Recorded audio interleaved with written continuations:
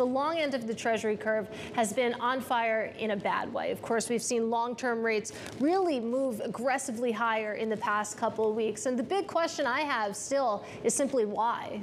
Yeah, because it's clear that it doesn't seem like this is driven by a change in the economic outlook. So what is then the drivers? Well, I think that big key drivers are, of course, importantly, that Japan changed yield curve control. So there's probably something about Japanese investors having less appetite for buying U.S. rates now that they get higher yields in their own backyards.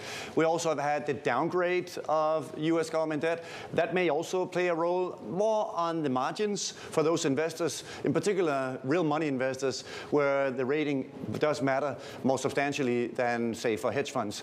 Other forces, of course, that also have played a critical role is that we have also had a significant issue still with government debt still being very significant and also budget deficits being significant and the Fed is still doing QT.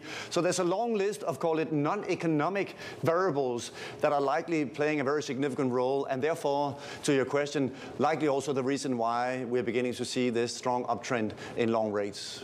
And it's also interesting that we haven't really seen any haven bid come into the Treasury market, even though we keep getting disappointing news out of China. So when you put that together, should there be a haven bid at this point? How bad could the situation get in the U.S. related to what's going on in China? It is quite surprising, also combined with the stock market. Now today it's up a bit, but the stock market doing relatively poorly, down 5% over the last several weeks, that long rates have just continued to march higher, suggesting that these non-economic factors are actually playing a critical critical role, and in particular in China, with both Europe slowing down and also China slowing down.